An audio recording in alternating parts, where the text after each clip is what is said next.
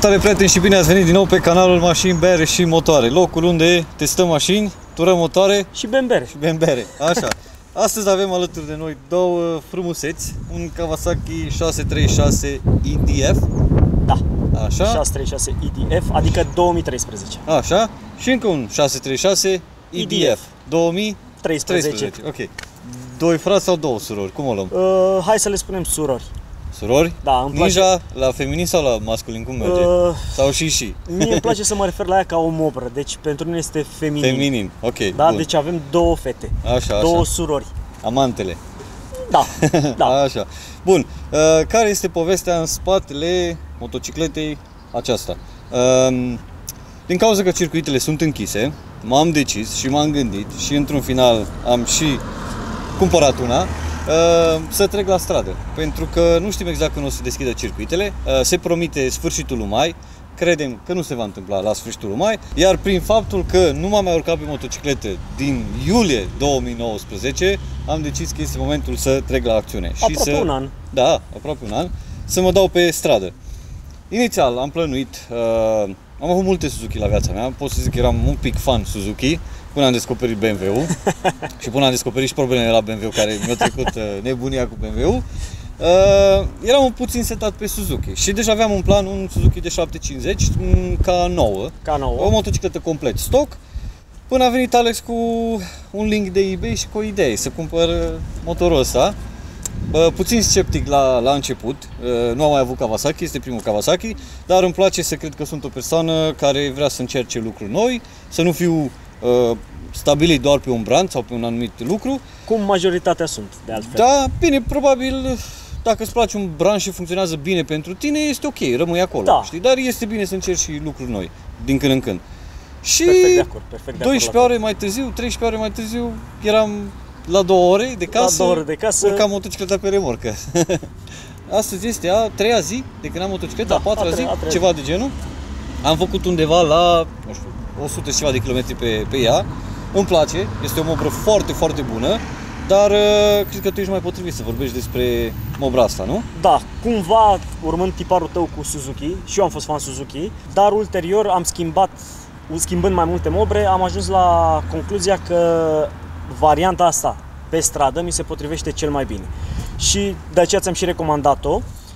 Uh, 636 și de ce 636 și nu oricare altă motocicletă? În primul rând, pachetul motocicletei, uh, tot ce înseamnă, pentru că tu în ce ai tu aici în configurația ta este se cheamă pa- pachetul performance, ceea ce Ok. înseamnă că vine cu o, o finală a Krapovici, Ok, așa, vine cu traction control da, în trei stagii și cu power uh, modes, ai două power mode, un, hai să le numim low și high sau Ok. uh, full power și rain power. da, pentru ploaie, da. Pentru ploaie. Iar motocicleta, sincer îți spun, Kawasaki, de ce mi-a plăcut și de ce Kawasaki mi-a plăcut și de ce am rămas?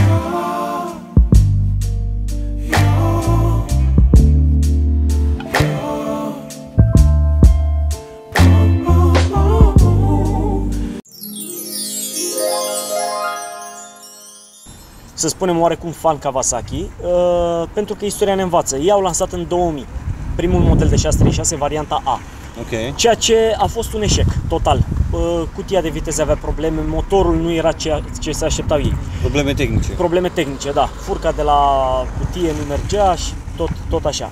Atunci, ce au făcut? În 2003 au lansat uh, Racing Division de la Kawasaki, au lansat prima avem și Avem și rațe cu noi, așa. Uh, Deci în 2013, în 2003, scuză au lansat prima oară B1H.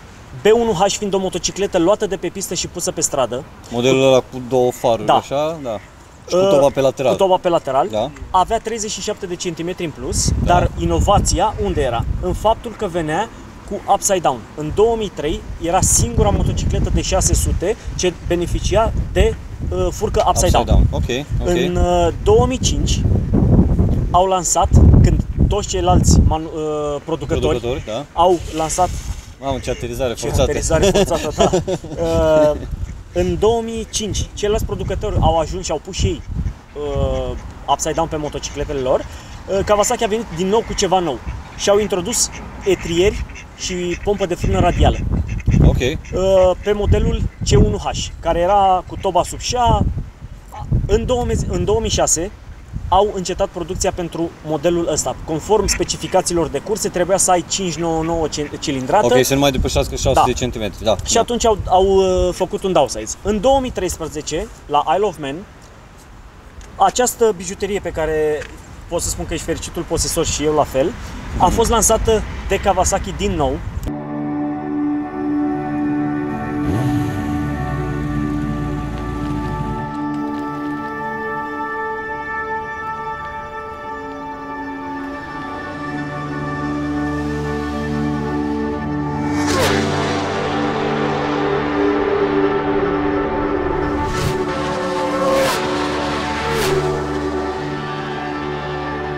Ok. cu James Hillier, pilot Isle of Man, Kawasaki la perioada respectivă. Da, da. Și a venit cu etrier monobloc, pompă de frână, ceea ce știam dinainte, cu etrier și uh, etrier monobloc, pompa de frână radială. Da. A venit cu Big Piston Forks și amortizorul spate.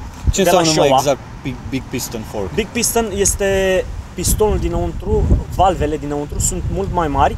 Ai, cum vezi aici, uh, va trebui să facem uh, Da, da. Aici ai pe preload-ul, arcul, pe, un, uh, pe, o, pe o jambă, iar Da. pe cealaltă ai compresia și rebound-ul. De obicei ai uh, rebound-ul sus, compresia jos. Ok. La ok. furcile upside down, la furca normală este invers. Pe când la asta ai, cum vezi aici, Da. compresie și rebound pe jamba dreaptă, preload-ul pe jamba stângă. Ok, ok. Ceea ce oferă o stabilitate pe cornering mult mai, și stabilitate pe frânare mult mai mare, comparativ cu un etrier, cu, cu o, furcă furcă star, standard, standard, uh, are mult mai mult spațiu de a te juca și a putea uh, seta o suspensie corect. Pentru setare, deci Pentru este mult setare, mai bună da. pentru setare, dar îți permite o setare Uh, mai, mai uh, bună. Cu ce, ve- cu ce a venit, din nou au adus cei 37 de centimetri în plus Ok. și au venit cu uh, pachetul de electronică Traction control. You're so sexy, sexy, sexy. I need your love, I need no hesitation. You're so sexy, sex, sex, sexy. Feel me now and stop the conversation. No, no, no, don't stop the desire. No, no, no, no, no, no. Poate vor o tură. Da. Tu ai shower. Și au venit cu pachetul de electronică, ceea ce înseamnă traction control și power modes. Și pe unele avem și Pe, ABS, nu? pe 2014 au băgat și ABS-ul. Ok. Dar, uh, încă o dată, până în momentul de față, până în 2018, când R6 le-au lansat traction control pe varianta de 600, este singura motocicletă care a venit cu pachetul ăsta. Motocicleta este destinată mersului pe stradă, de aceea și mid-range-ul, unde Da, cei are- 37 de centimetri chiar fac diferența. Fac diferența, da. Uh, iar dacă vrei o jucărie pentru track day, cu un pic de tweak la suspension, motocicleta este ready to go cu suspensia pe care o ai pe ea. De aceea Kawasaki au venit cu o idee foarte, foarte, foarte, foarte drăguță. Galeria se îmbină cu catalizatorul, Da, iar din catalizator se îmbină cu finala. da, da. Ce poți să faci? Kawasaki, cum au venit cu ideea, au spus catalizatorul este o parte individuală Da. pe care o poți scoate și ai o variantă să cumperi link pipe ceea ce tu ai și ai creat o tobă cap-coadă. Și motorul uh, uh, răspunde și mai bine. Motorul răspunde și mai bine și o poți folosi în variantă de, de track. Uh, Iar această, acest mod, să-i spunem, nu este foarte scump și tu pierzi în jur de 2,9, să spunem 3 cai față de o, de o evacuare completă. Ok, ok. Da? Ai pus un power commander și imediat totul uh, Ai ajustat motocicleta, ai ajustat motocicleta, fueling-ul și tot. fueling-ul da. și tot. Da, da, da. Uh, Este o motocicletă genială din punctul meu de vedere pentru mersul pe stradă și este o jucărie foarte, foarte, foarte drăguță pentru pistă. Chiar pentru pistă, da. pentru da, pistă. Da, da. Unde toată lumea uh, vreau cât mai multă putere, vreau uh, ținând cont că pe stradă nu știu de ce ți-ai luat o mobră de 1000. Uh, nu știu de ce ți-ai luat o mobră de 1000. Pe stradă, vorbim strict de mersul pe Da, stradă. cred că este prea mult. Uh, Da. Limitele legale le spargi imediat, le depășește fără probleme. Este o motocicletă grea, Da, Miarul. Este o motocicletă care se simte bine la viteze mari, ceea ce pe stradă eviți Da. vitezele pe cât posibil. cum, cum ai constatat și tu, ai văzut că această, această motocicletă este foarte ușor de manevrat, are o Absolut, suspensie absolut. foarte... Te joci cu ea, deci în trafic, nu știu, mi se pare ca un tourer, ceva de genul. Da, nu? este Uh, poziția, nu este o poziție să stai foarte în cap. Da, Uh, da, a da, fost da. destinată și a fost desenată să poți să o folosești zi de zi. Ceea ce este un lucru foarte bun. Spui o cutie în spate, Poți să te pui sui pe ea, Grecia, dai cutia jos și sere, intri Se- direct pe pistă. exact, știi? bravo, da, se poate, se poate, se foarte poate face ușor. treaba da, asta. se poate face foarte nu am ușor. făcut eu foarte mulți kilometri cu ea până, până astăzi, dar uh, îmi- mi-a dat un feedback foarte bun și îmi place. Uh, Mă bucur că am ales motocicleta asta. Mai urmează să facem mici ajustări la Nici suspensie. ajustări la suspensii. Deocamdată este setată pentru mersul pe stradă, o să lucrăm puțin la suspensie, să mai întărim suspensia, mai uh, lărgim puțin uh, Deschidem ghidoanele. puțin ghidoanele. Da? Da, pentru, Și- pentru o poziție mai relaxată pe, Da, pe, mers, pe mersul pe stradă. la mersul pe Da, stradă. uh, Bine, și foarte bună pe circuit, faptul cu deschisul da, ghidoanelor. Da, da, automat. Uh, Da, pe, per total vă recomand inclusiv începătorilor, chiar și profesioniștilor. Da. Uh, inclusiv dacă vrei o motocicletă de, de circuit, dai jos carenele, pui carene de pistă și o duci pe, o duci pe circuit. Și să nu uităm că Kawasaki este o motocicletă foarte ușor de întreținut. Mai ales modelul ăsta. Ulei, bujii, dacă facem serviciul corect, cum ni se recomandă, Da, motocicleta are, are viață, deci este fiabilă. este are... foarte fiabilă. Eu sunt la a patra sau a cincea motocicletă, Kawasaki 636, modelul ăsta Ok, în particular. ok. Uh, Este o motocicletă ce îmi place, pentru că pot merge cu ea zilnic la muncă, înapoi, pot merge cu ea la track day. La dragei, da. Uh, Dacă vreau să mă apuc mai serios de curse, conform noilor reglementări FIA, ai voie să te înscrii cu 636 Ok. la grupă de 600 de super Ok, sport, ok. deci o poți folosi fără niciun fel de problemă.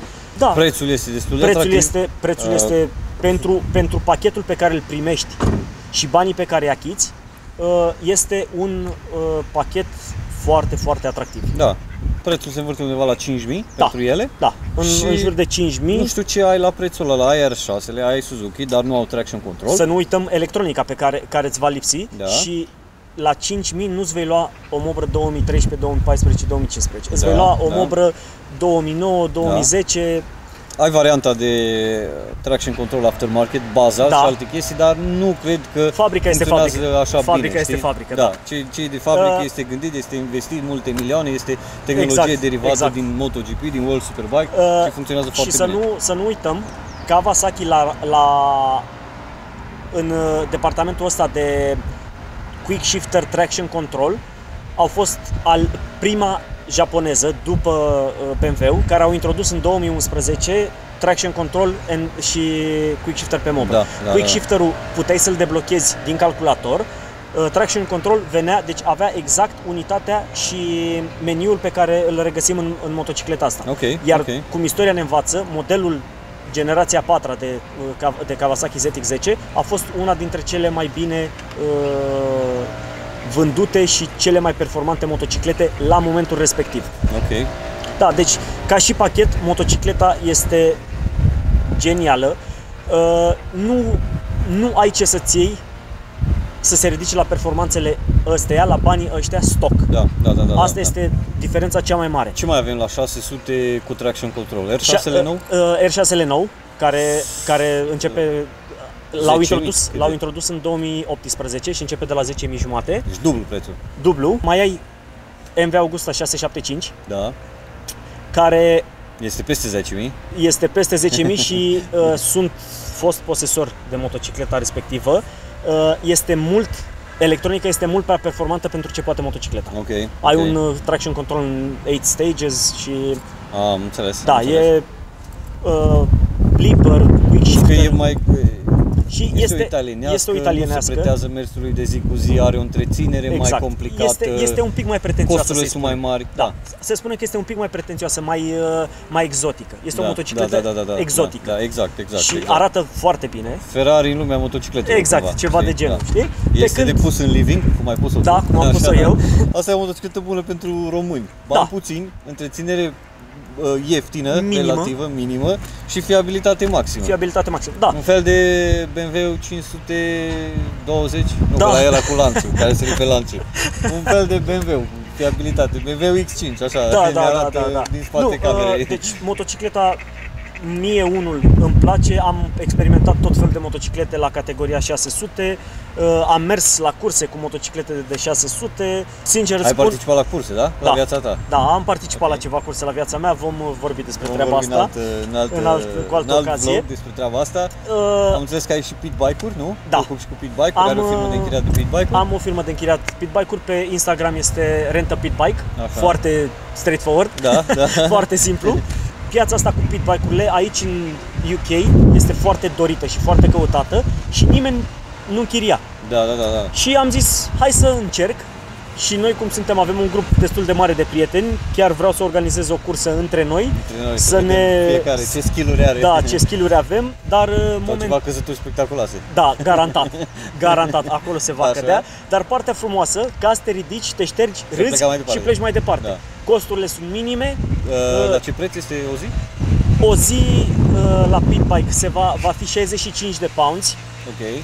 plus pista respectivă. Uh, Costul închirierii pistei. Care este Uh, de... În jur, în jur de 15 până la 25 de pounds. Ok, deci pe total 100 de lire. 100 de lire, în banii respectivi ești acoperit 100%. Ai spart motorul, nu Bun, te, nu te bun, încasezi bun, nimic, nu. bun. Deci totul este acoperit. Uh, și în banii ăștia ai și un pic de tuition, pentru Ok. că vei vedea, ca și fiecare sport pe care îl practici, sunt mici tricuri pe Da, care trebuie să da, le da, da, descoperi. da, da, da. Și cu cât ți- cineva ți le spune din timp, Salvezi mult uh, salvezi, sal, timp, salvezi mult bani, timp știi? și eventual niște trăzări, Căzături, știi? da. Și da, dar Ok, reve- o să facem și despre treaba aia. un Facem și vlog, treaba asta- uh, despre când treaba se dă asta. drumul aici la, la circuite. Dacă aveți vreo idee despre cum, ce mobre să facem review și ce părere aveți voi despre mobra asta, sunt chiar curios să știu. Probabil sunt foarte mulți posesori de mobra asta.